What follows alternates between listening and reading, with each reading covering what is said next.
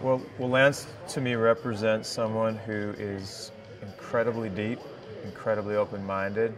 Um, he, he, I think what he cares about is what I think coaches that are really good at what they do care about, which is uh, bringing as much information as possible in an, in an, in an open-minded setting, setting where it's not so much about just throwing it down your throat, but having a chance to engage and, and have a conversation about it. I just think he's, um, and, I just love the fact that he's, um, he's creative and um, he's kind of, a, you know, he's really a pioneer in a way. I mean, for him to start something like this from scratch and in just what, three years or whatever it's been, to grow to 210 coaches and, and you know, in Franklin, Tennessee.